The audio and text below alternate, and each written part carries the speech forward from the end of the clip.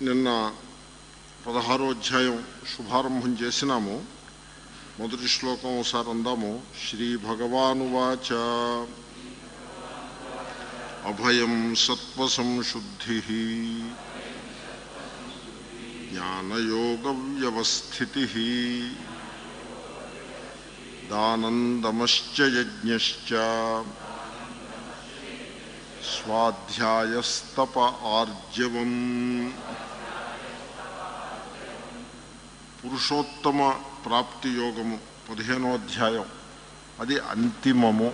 బోధ గీతా ఉపదేశానికి సంబంధించినంత వరకు అక్కడతో శాస్త్రోపదేశము సమగ్రంగా పూర్తయింది అని మనం అనుకున్నాము. పురుషోత్తమ యోగ అంతిమ అని ఒక సూత్రం ఒకటి ఉంది. అయితే పదహారో అధ్యాయము ఇది అపెండిక్స్ అంటే తొమ్మిదో అధ్యాయంలో ఒక చోట చాలా సంగ్రహంగా చెప్పిన ఆసురీ ప్రకృతి వర్సెస్ దైవీ ప్రకృతి అనేదాన్ని అక్కడ చాలా సంగ్రహంగా ప్రస్తావించినటువంటి విషయాన్ని ఈ పదహారో అధ్యాయంలో మరింత విస్తారంగా చెప్పే ప్రయత్నం జరుగుతుంది అని అనుకున్నాం. అయితే ఈ సందర్భంలో మనం ఒకటి గమనించాలి. ఎందుకంటే పురుషోత్తమ యోగము అంతిమము అన్న తరువాత తప్పనిసరిగా మనం అటెన్షన్ పే తగినటువంటి విషయం ఒకటి ఉన్నది.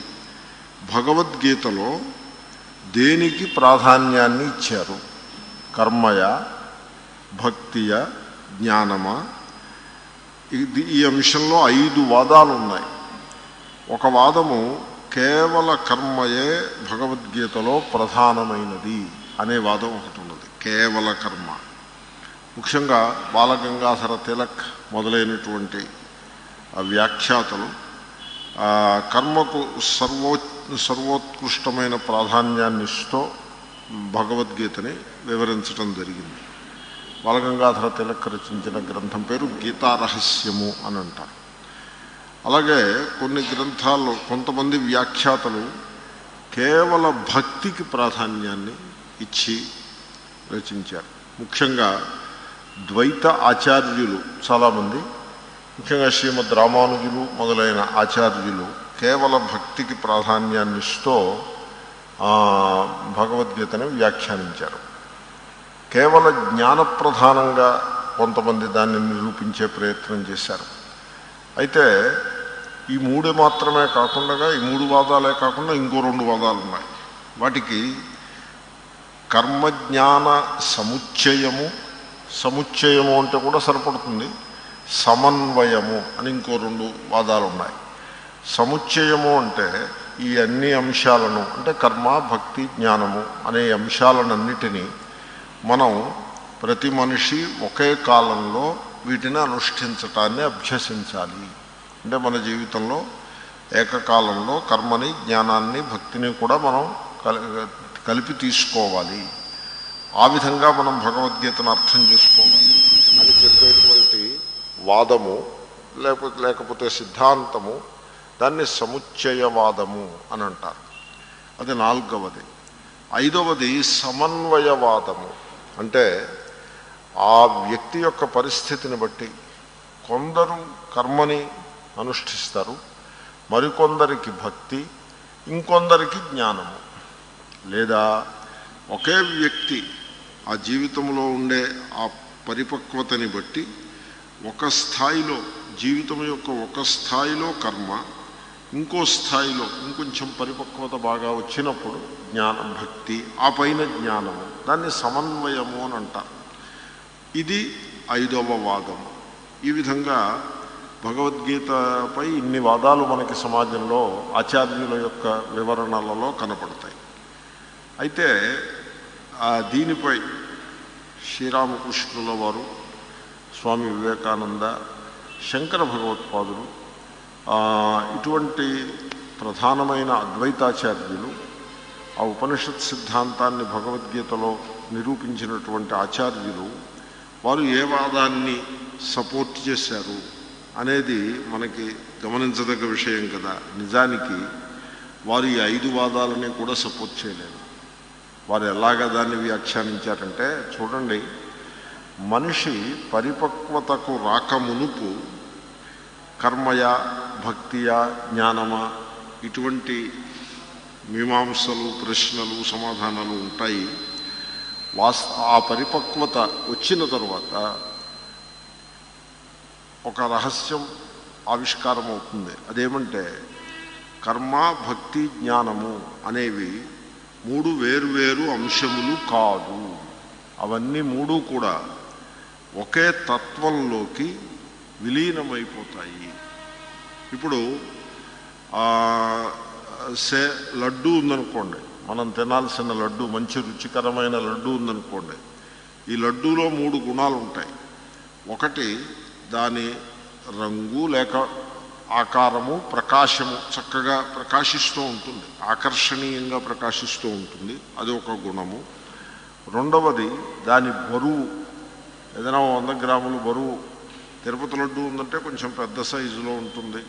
ఈ మధ్యన లడ్డు సైజు తగ్గించాలని ఏదో చర్చ జరుగుతోంది. కాబట్టి దాని బరువు కూడా ఒక ప్రధానమైన అంశము.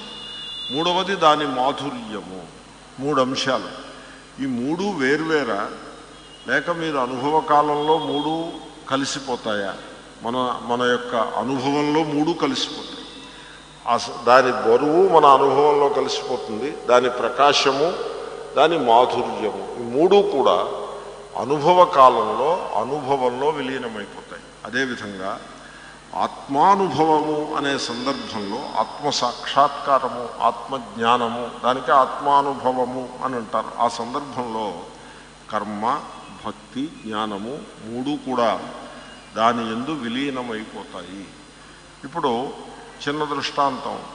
మీరు ప్రేమతో వంట చేసి ఆ అతిథికి భుజింపజేయాలి అనే ఉత్సాహంతో మీరు ప్రేమతో వంట చేస్తున్నారనుకోండి ఇప్పుడు ఆ మీరు చేసేటువంటి ఆ ప్రయత్నంలో కర్మ భక్తి జ్ఞానము మూడు కూడా కలిసిపోతాయి. ఇప్పుడు దేవాలయాల్లో కూడా దేవుడి బొమ్మ ఆ పెద్ద విగ్రహానికి ముందు ఆ పాదపీఠము అని అంటారు.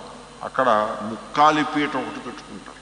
ఆ ముక్కాలి పీఠ మీద శివాలయం అయినట్లయితే చిన్న శివుని యొక్క లింగము అలా పెడతారు. సో ఆ ముక్కాలి పీఠ మన జీవితానికి అది ప్రతీక. మన జీవితంలో మూడు ఆలంబనములు మనకు అవసరం పడతాయి. కర్మ భక్తి జ్ఞానము. మూడు కూడా మన జీవితంలో అంతర్లీనమై ఉంటాయి. కాబట్టి మూడింటిని అలా విడదీసి దీన్ని ఫ్రాగ్మెంటరీ థింకింగ్ అంటారు. అంటే ముక్కలు ముక్కలు చేసి ఆలోచించేటువంటి పద్ధతి అలా కాకుండా చక్కగా మూడింటిని మనలోనే విలీనం చేస్తుంది ఇప్పుడు మీరు గీతను శ్రవణం చేస్తున్నారనుకోండి. అది కర్మయా భక్తియా జ్ఞానమా? అనే విభాగమే లేకుండగా ఆ శ్రవణం చేసేప్పుడు దాన్ని ప్రేమగా కనుక మీరు అనుభవానికి తీసుకొచ్చినట్లయితే కర్మ భక్తి జ్ఞానములు మూడు కూడా అనుభవంలో విలీనమవుతాయి. ఈ విషయాన్ని మామూలుగా పదిహేనో అధ్యాయం యొక్క అంతంలో ఓసారి అనుకోవటం పరిపాటి. అంచేత పదహారో అధ్యాయం ప్రారంభంలో నేను మీకు ఇది గుర్తు చేశాను. తర్వాత ఈ అధ్యాయం ఆరంభం పదహారో అధ్యాయం ఆరంభంలో ఆ రెండు సేనల యొక్క ఆ సమావేశం ప్రథమాధ్యాయం ఆరంభంలో ఎలా అయితే కౌరవ సేన పాండవ సేన ఒకదానికొకటి ఎదురుబొదురుగా నిలిచి ఉన్న సన్నివేశం ఏది కలదో అది మళ్ళీ ఒకసారి పునరావృతమైనది అని మీకు నేను నిన్న మనవి చేశాను. ఇప్పుడు కూడా ఈ సృష్టి యొక్క లక్షణం ఏమంటే సత్ అసత్ ఈ రెండింటికి మధ్య స్పర్ధ అనేది ఎప్పుడూ నిరంతరంగా ఉంటుంది. ఎప్పుడూ అలా స్పర్ధ ఉంటూనే ఉంటుంది. అంచేతనే మన పురాణాల్లో దేవతలకి రాక్షసులకి యుద్ధము అనేది అది అలా ఎప్పుడు ఏ పురాణం చేసినా లేక ఒకే పురాణంలో అనేక పర్యాయములు ఈ రాక్షసులకి దేవతలకి మధ్య స్పర్ధ అన్నది జరుగుతూ ఉంటుంది. సో దాన్ని అలా లిటరల్గా అక్కడెక్కడో దేవతలు ఉన్నారు మరెక్కడో రాక్షసులు ఉన్నారు. వీళ్ళు వాళ్ళు అప్పుడప్పుడు గుర్తొచ్చినప్పుడల్లా ఓసారి కలుసుకుని కొట్టేసుకుంటూ ఉంటారు అని అలా కాకుండా దాన్ని ఆ దాంట్లో ఉండే ప్రతీకను దాంట్లో ఉండే ఆ సింబాలిజంని పట్టుకునే ప్రయత్నం చేయాల్సి ఉంటుంది. సో ఈ సృష్టిలో నిరంతరంగా సాగుతూ ఉండేటువంటి సదసత్తుల యొక్క స్పర్ధ దాని మీద ఒక సూత్రం ఒకటి ఉంది. సదసతి ఉపస్పృధాతే అంటే సత్ అసత్తులు ఎప్పుడూ స్పర్ధని చేస్తూనే ఉంటాయి అనే ఆ విషయం ఇక్కడ మనకి ఈ అధ్యాయంలో స్పష్టమవుతుంది. ఈ స్పర్ధ సత్తుకి అసత్తుకి మధ్య నుండే స్పర్ధ దాన్ని మీరు హిస్టారికల్గా కౌరవసేనకి పాండవసేనకి మధ్యలో ఉన్న స్పర్ధని చెప్పచ్చు. లేక పౌరాణికంగా దేవతల సేనకి రాక్షసుల సేనకి మధ్య నుండే స్పర్ధ అని చెప్పచ్చు. కానీ అంతకంటే కూడా దాన్ని అధ్యాత్మంగా చూసినట్లయితే సత్య ప్రవృత్తికి అసత్య ప్రవృత్తికి మధ్యలో మనిషి యొక్క మనిషి జీవితంలో సత్య ప్రవృత్తికి అసత్య ప్రవృత్తికి మధ్య జరిగేటువంటి ఈ అంతఃసంగ్రామం ఏదైతే కలదో లోపలి సంగ్రామము ఇది మూలము. ఇది ఈ అంతఃసంగ్రామాన్ని ఆధారంగా చేసుకునే ఈ రకమైనటువంటి సన్నివేశములు గీతలో కానీ పురాణములలో కానీ వాటిని వర్ణించటం జరుగుతుంది. అది ఒకటి మనం గమనించాల్సి ఉంటుంది. ఇది కూడా మనం నిన్న అనుకున్నాము. ఇప్పుడు శత్రువు మిత్రుడు వీడు శత్రువు వీడు మిత్రుడు. ఇది మంచి ఇది చెడు. ఇది పుణ్యము ఇది పాపము ఇది ధర్మము ఇది అధర్మము అనేటువంటి ఈ ద్వంద్వములు ఏవైతే ఉన్నాయో ఈ ద్వంద్వాలు బయట ఉంటాయని సమాజంలో మనకంటే భిన్నంగా ఉండే సమాజంలో ఉంటాయని ఈ ద్వంద్వములు సత్ పరమ సత్యములని అనుకుంటారు జనం. అలా అనుకుని దానికి తగ్గట్టుగా ప్రవర్తిస్తారు. వాస్తవంలో ఈ ద్వంద్వములు సత్యము కాదు. రెండవది ఈ ద్వంద్వములు బయట ఉండవు. మన మనస్సులో ఉండేటువంటి వికారములే బయట ప్రతిఫలిస్తూ ఉంటాయి. ఇప్పుడు ఒక వ్యక్తిని చూసి వీడు మిత్రుడని ఇంకో వ్యక్తిని చూసి వీడు శత్రువు అని మీరు ముద్ర వేశారనుకోండి ఆ ముద్ర వేయటానికి వాళ్ళ ముఖాల మీద అలాగ ముద్రలు వేస్తున్నాయా ఎక్కడైనా? వీడు వీడు శత్రువు వీడు మిత్రుడు అని ఆ విధంగా వాళ్ళ ముఖాల మీద ఏం ముద్రించి ఉండదు. లేదా వాళ్ళు పుడుతూనే మనకి శత్రువుల కింద ఒకడు శత్రువుగాను ఒకడు మిత్రుడుగాను పుట్టాడని కూడా మీరు చెప్పడానికి వీల్లేదు. మన మనస్సులో ఒక వికారం ఉంటుంది. మనకి అనుకూలమైన దాని ఎందు రాగము మనకి ప్రతికూలమైన దాని ఎందు ద్వేషము అనే ఈ రాగద్వేష రూపమైన వికారములు మన మనస్సులో నిలిచి ఉంటాయి. వాటిని బట్టే మనం ప్రవర్తిస్తూ ఉంటాం. మనం జగత్తును చూసినప్పుడు కూడా మన మనస్సులో ఏ వికారములు సంస్కారములు కలవో వాటిని ఆరోపించి మనం జగత్తును చూస్తాం. వాటి యొక్క ఆరోపము. కాబట్టి లోపల ఉండే ద్వేషాన్ని బయట బయట శత్రువు నిర్మాణం అవుతాడు బయట లోపల ఉండే రాగాన్ని బట్టి బయట మిత్రుడు నిర్మాణం అవుతాడు ద్వంద్వములన్నీ ఈ విధంగానే ఉంటాయి.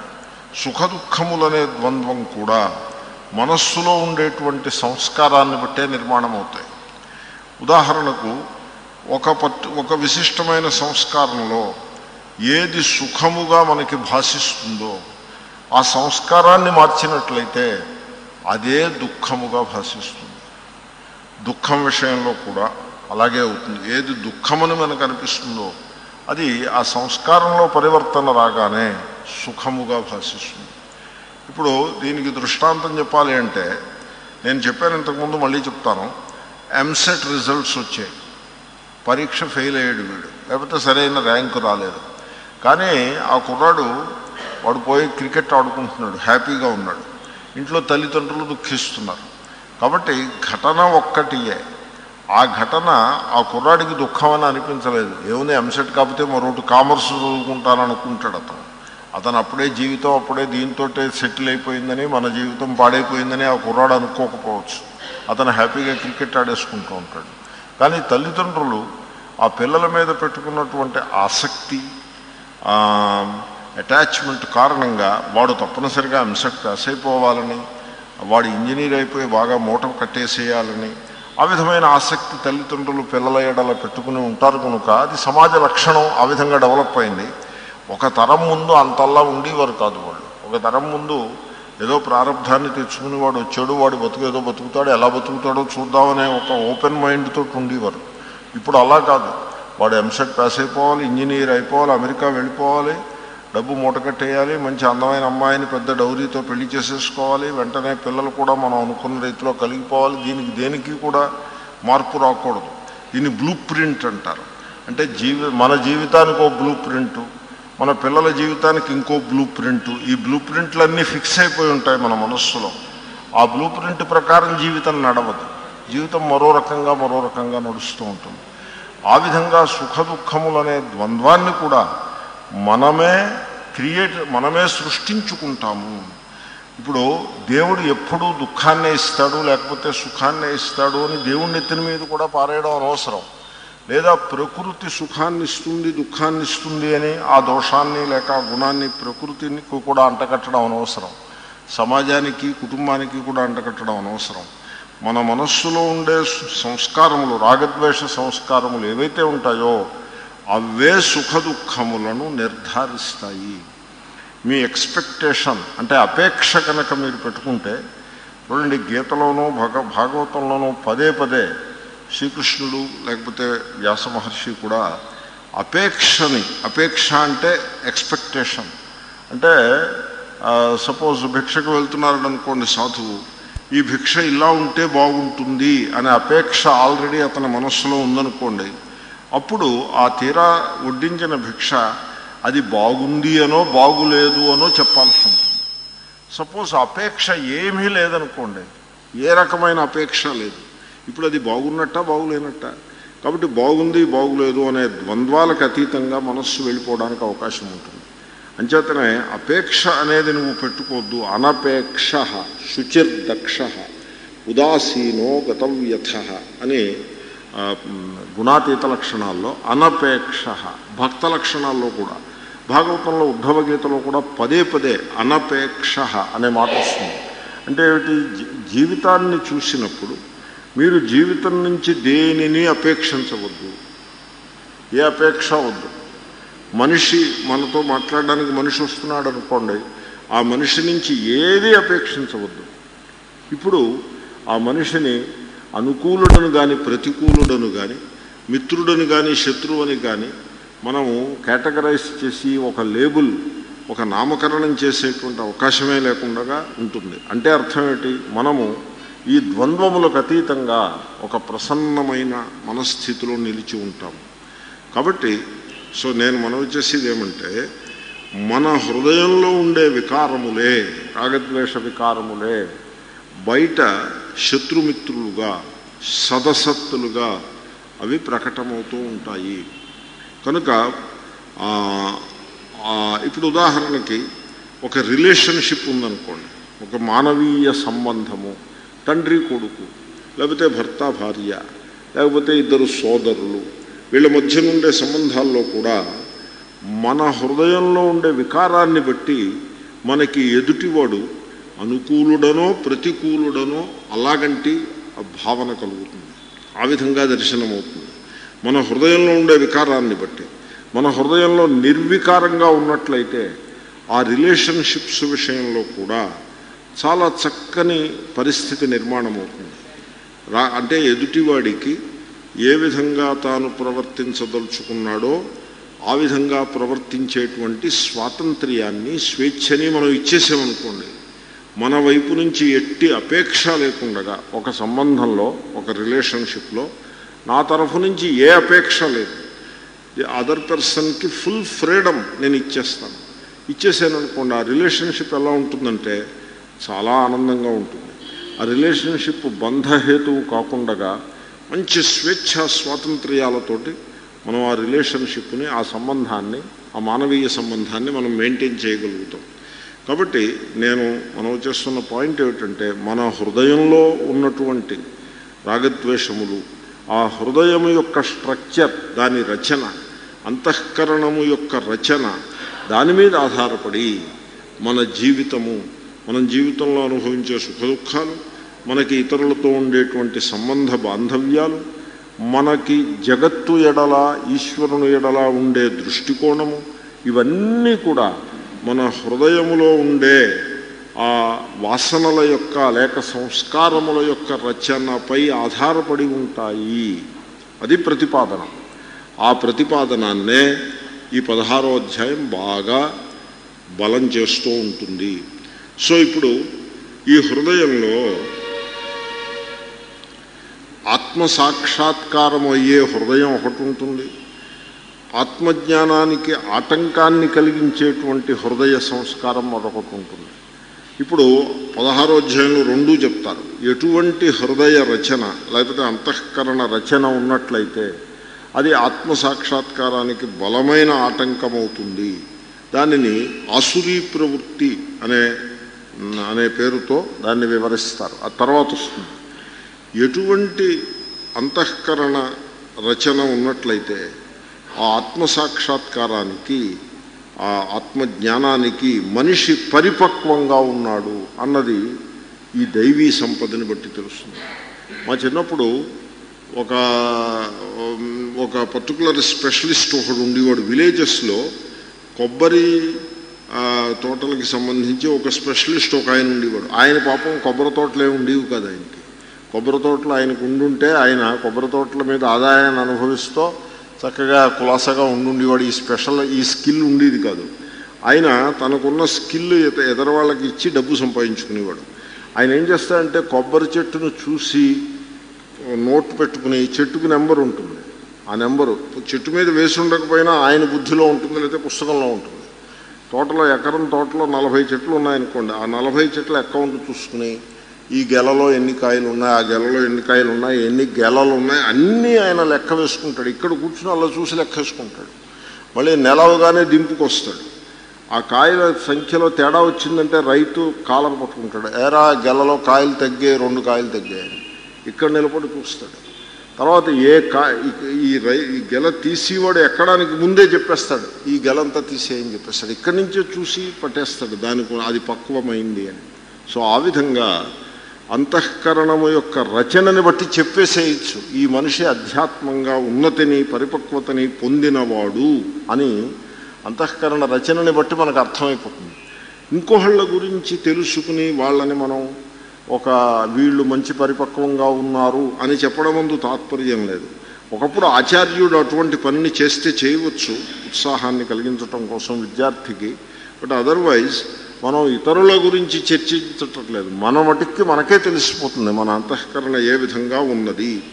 ఇది ఎలా అంటే సూర్యోదయానికి ముందు ఉషఃప్రభ అంటే ఉషఃకాలము యొక్క కాంతులు కనబడతాయి. మనకి ఆ ఉషకాలాన్ని చూసిన వెంటనే ఆయనకి తెల్లారిపోతోందర్రా. సూర్యుడు ఉదయించబోతున్నాడు అని తెలిసిపోతుంది. సూర్యుడు ఉదయించబోతున్నాడని తెలియటానికి ఆ ఉషఃకాలపు ప్రభ ఏ విధంగా మనకి చక్కని సూచననిస్తుందో ఆ విధంగా మన అంతఃకరణము యొక్క రచన ఈ దైవీ సంపదలో చెప్పిన అంశములకు అనుకూలంగా ఉన్నట్లయితే ఓహో ఈ అంతఃకరణము చాలా పవిత్రంగా దైవీ సంపదలో చెప్పిన సందర్భంగా ఉంది. మనకి ఆటంకాలు బాగా తొలగిపోయినాయి. మనం ఆత్మసాక్షాత్కార దిశలో ముందుకు అడుగు వేస్తున్నాము అని మనకి మనకే తెలుస్తుంది. మన ముఖాన్ని మనం అద్దంలో చూసుకున్నట్లే. కాబట్టి ఈ దైవీ సంపద శ్లోకాలలో చెప్పిన లక్షణములను ఆత్మసాక్షాత్కారము అనే సూర్యోదయానికి ముందుండే ఉషఃప్రభతో ఉషఃకాల ప్రభతో పోల్చవచ్చును. ప్రభ అంటే ఏమిటనుకుంటున్నారు? కాంతి అని అర్థం. ఈ ప్రభల పండుగలో ఏవో ఇలా నిలబెడతారు అవనుకున్నారు అవి వాటికి ఇక్కడి నుంచి వచ్చింది ఆ పేరు. ప్రభ అనగా కాంతి. ఇప్పుడు సూర్యోదయానికి ముందు ఏ విధంగా అయితే ఉషఃప్రభలు ఉంటాయో అదేవిధంగా పూర్ణ జ్ఞానానికి ముందు అంతఃకరణంలో సద్గుణ ప్రభలు అవి అనుభవానికి వస్తూ ఉంటాయి. ఇతరులకి అనుభవానికి వస్తాయి మనకి కూడా అనుభవానికి వస్తుంది. సో ఆ- సద్గుణ ప్రభను ఈ శ్లోకాల్లో మూడు మూడు నాలుగు శ్లోకాల్లో వర్ణించారు. ఎందుకంటే ఈ దైవీ సంపదని పూర్వప్రభ అని వర్ణించారు ఒక మహాత్ములు. దానికి ఆ పేరు పెట్టారు. పూర్వప్రభ. వినోబా భావే గారు పెట్టారు ఆ పేరు. సో దైవీ సంపదని ఉషఃకాలపు ప్రభ ఎలా అయితే సూర్యోదయానికి పూర్వమో ఇది అట్టిది. ఆత్మజ్ఞానాన్ని సూర్యోదయంతో పోలుస్తారు. కనుక ఆత్మ సాక్షాత్కారము అనే సూర్యోదయానికి పూర్వమునందుండే ప్రభగా ఈ సద్గుణ సంపదను వర్ణించవచ్చును. తర్వాత అయితే ఆ ప్రభ ఏం చేస్తుంది? ఉషఃప్రభ ఏం చేస్తుంది? అంతవరకు ఉన్న చీకట్లతోటి యుద్ధం చేసి చీకట్లని పారదోలడం ఆరంభిస్తుంది. ఉషఃప్రభే చేసేస్తుంది ఆ పని కొ- కొంతవరకు. ఇక మిగిలిన చీకట్లని ఉషఃప్రభతో పారద్రోలగా మిగిలిన చీకట్లని సూర్యభగవానుడు పోగొడతాడు. అదేవిధంగా ఈ సద్గుణ సంపద ఈ శ్లోకాల్లో చెప్పినది అది ఆసురీ సంస్కారములను ఆ చీకట్లతో పోల్చదగిన ఆసురీ సంస్కారములను ఈ సద్గుణ ప్రభయే తొలగించి వేస్తుంది చాలా మటుకి ఇక చిన్న చిన్న సంస్కారములు ఏదైనా కొద్దిగా మిగిలి ఉంటే అవి ఆత్మసాక్షాత్కారంతో పూర్తిగా తొలగిపోతాయి. మానవుడు జీవన్ముక్తుడై వెలుగొందుతాడు. అది ఈ టాపిక్లో ఉన్నటువంటి ఒక అంశం. మనము సో నిన్న అభయం అని చూసి ఉన్నాము సత్వ సంశుద్ధి. దానిని మనం వ్యాఖ్యానం చేసుకోవటం తర్వాయి. అయితే ఆ వ్యాఖ్యానాన్ని ముందుకు కొనసాగించే సందర్భంలో నేను మీకు ఒక అభిప్రాయాన్ని వ్యక్తం చేస్తాను. చూడండి ఈశ్వర ప్రాప్తి అని ఒకటి ఉంటుంది. అంటే ఈశ్వరుణ్ణి పొందుట. పొందడం అంటే ఏమిటి? ఈశ్వరుణ్ణి పొందడం. ఇప్పుడు ధనమును పొందుట అంటే అర్థం ఏమిటి? ఎక్కడో ఉన్న ధనం వచ్చి మన ఒళ్ళో పడ్డం పేరు ధనమును పొందుట. అలాగే ఈశ్వరుడు వచ్చి మన ఒళ్ళో కూర్చుంటే దాన్ని ఈశ్వరుణ్ణి పొందుట అనా? ఏమిటి అసలు ఈశ్వరుణ్ణి పొందటం అంటే ఏమిటి? సపోజ్ ఈశ్వరుడు వచ్చి మీ ముందు ఒళ్ళో కూర్చున్నాడంటే అది ఒక ఎక్స్ప్రెషన్ దాన్ని అలాగే తెలుగులో అలా అంటారు. వచ్చి ఈశ్వరుడు వచ్చి మీ ముందు కూర్చున్నాడు అనుకోండి ఏం చేస్తారు ఇప్పుడు? కేకరే ఓ ఐదు నిమిషాలు చాలా ఉల్లాసంగా బాగుంటుంది. ఆ తర్వాత ఈ లోపల మీరు బాత్రూమ్కి వెళ్ళాల్సి వచ్చింది అనుకోండి ఏం చేస్తారు? కాబట్టి ఈశ్వరుణ్ణి పొందుట అంటే ఒక ఈశ్వరుణ్ణి ఒక వ్యక్తిగా భావన చేయటంలో అన్ని సమస్యలు ఉంటాయి. ఈశ్వరుడు ఎక్కడో ఉన్నవాడు ఇక్కడికి వచ్చి మనం పొందినా సమస్యలు ఉంటాయి అలా కాదు ఎక్కడో ఉన్న ఈశ్వరుడు అక్కడే ఉంటాడు మనం అక్కడికి వెళ్ళిపోయి ఆయన్ని పొందేస్తాము అన్నా ఇంకో రకం సమస్యలు ఉంటాయి అక్కడ. కాబట్టి ఈశ్వరుణ్ణి తత్వంగా తెలుసుకోకుండా వ్యక్తిగా తెలుసుకున్నంత వరకు ఈ సమస్యలు ఇలాగే ఉంటాయి. ఇటువంటి ప్రశ్నలు ఏమైనా ఎవడైనా అడిగారనుకోండి వాడి నెత్తి మీద కొంత బురద జల్లి ఇదిగో వీడికి భక్తి లేదు వీడేమో అయోగ్యుడు నాస్తికుడు అని వాడి నెత్తి మీద బురద జల్లేసి మనం సంతృప్తి పడచ్చు. కానీ ఆ శంక అలాగే మిగిలి ఉంటుందిగా. వాడిని బురద జల్లేసి వాడిని నోరు మూసేసిస్తే వాడు నోరు మూసి కూర్చుంటాడు లేకపోతే అవతలకి పోతాడు. పోన్లే వాళ్ళ తంటాలు వాళ్ళు పడతారని వాడి దాన్ని వాడిపోతాడు కానీ మన మనస్సులో ఆ శంక ఎక్కడికి పోతుంది? కాబట్టి ఈ ప్రసంగం అంతా ఎందుకు చేశానంటే ఈశ్వర ప్రాప్తి అంటే ఏమిటో మీరు ఆలోచించాల్సి ఉంటుంది. అందుకోసం చేశాను. ఒక మహాత్ములు అన్నారు నాకు పెద్ద కనువిప్పు అనిపించింది. ఈశ్వర ప్రాప్తి అంటే సద్గుణ ప్రాప్తియే. ఇంకా వేరే ఏమీ లేదు. సద్గుణ ప్రాప్తియే ఈశ్వర ప్రాప్తి. ఎందుకంటే ఈశ్వరుడు ఒక పెద్ద ఆయన కాదు. ఒక పెద్ద ఆయన అయితే మీరు ఎన్ని సద్గుణాలు కలిగి ఉన్నా ఆ పెద్ద ఆయన మీ దగ్గరికైనా రావాలి మీరు ఆ పెద్ద ఆయన దగ్గరికైనా వెళ్ళాలి. కానీ అది కాదు ఈశ్వర ప్రాప్తి అంటే. ఈశ్వర ప్రాప్తి అంటే సద్గుణ ప్రాప్తిరేవ కాబట్టి ఈ అభయం సత్వ సంశుద్ధి అనే గుణాలని ఏ మేరకు మనం మన అంతఃకరణంలో హృదయంలో ప్రోధి చేసుకుంటామో ఆ మేరకు మనం ఈశ్వరునికి సమీపానికి వెళ్ళిపోతూ ఉంటాము. ఈశ్వరుడికి మనకి మధ్యలో కేవలము అంతఃకరణ శుద్ధి అనే అంశమే అడ్డుగా నిలిచి ఉన్నది. ఈశ్వరుడు మన హృదయంలో ఆత్మరూపంగా ఎప్పుడూ వెలుగొందుతూనే ఉన్నాడు. అటువంటి ఈశ్వరుణ్ణి పొందుట అంటే కేవలము అంతఃకరణములో సద్గుణములను పొందినట్టు మనం సంపాదించినట్లయితే ఆ అంతఃకరణము ఈశ్వరుని యొక్క స్వరూపాన్ని ప్రకటిస్తుంది. మనం ఈశ్వరునిలో ఆత్మరూపుడైన ఈశ్వరునిలో విలీనమైపోతాము. కాబట్టి సద్గుణ ప్రాప్తియే ఈశ్వర ప్రాప్తి అనేటువంటి ఒక మౌలికమైన సత్యాన్ని ఈ సందర్భంలో మనం తప్పక గమనించదగి గమనించాల్సి ఉంటుంది సత్వ సంశుద్ధి సత్ అంటే నేను నిన్న మీకు మనవి చేశాను. నేను అనే అనుభవము ఈ సృష్టిలో సకల అనుభవములకు మూలమునందు ఉన్న మౌలికమైన అనుభవము నేను అనే అనుభవము. ఇప్పుడు జగత్తు యొక్క ఆ సౌందర్యం సౌందర్యము సుఖము అనుభవానికి వచ్చిన లేక జగత్తులోని దుఃఖము లేక దాంట్లో ఉండే ఒక దోషము అనుభవానికి వచ్చిన ఏది అనుభవానికి వచ్చినా ముందు నేను అనే అనుభవం తర్వాతనే వస్తుంది.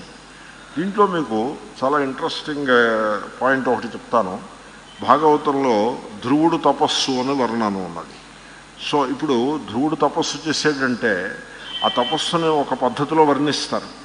ఆ వర్ణనని లిటరల్గా తీసేసుకుని అదిగో అంత తపస్సు చేశాడు ఎంత తపస్సు చేశాడని మీరు ఊరికే ఎక్సైట్ అయిపోవటం వల్ల వచ్చేది ఏముండదు ఉండదు. ధ్రువుడు ఎంత తపస్సు చేస్తే మీ ఊళ్ళో ఏం ఉరుగుతుంది that is not the point that is besides the point point ఏమిటంటే ధ్రువుడు చాలా కఠోరమైన తపస్సు చేశాడు. దాంట్లో ఏమి? చాలా అందంగా వర్ణించారు. దట్ ఈస్ ది పాయింట్ అంతే. అక్కడ ఉన్నదాన్ని ప్రతి అక్షరాన్ని అక్షరశ తీసుకోరాదు. కఠోరమైన తపస్సు చేశాడు. ఈ లోపల శ్రీ మహావిష్ణువు ఆయన ముందు ఆవిర్భవించాడు. కానీ ధ్రువునిలో నేను అనే అనుభవం లేదు. నేను అనే అనుభవం లేకుండగా అతను థాట్లెస్ స్టేట్లో అలాగా అసద్రూపంగా నిలిచి ఉన్నాడు. నిలిచి ఉంటే శ్రీ మహావిష్ణువు అలా వేచి ఉన్నాడు. ఇతని కళ్ళు తెరవాలి శ్రీ మహావిష్ణువుని చూడాలి. అంతవరకు శ్రీ మహావిష్ణువు ఆవిర్భవించినట్టే కాదు.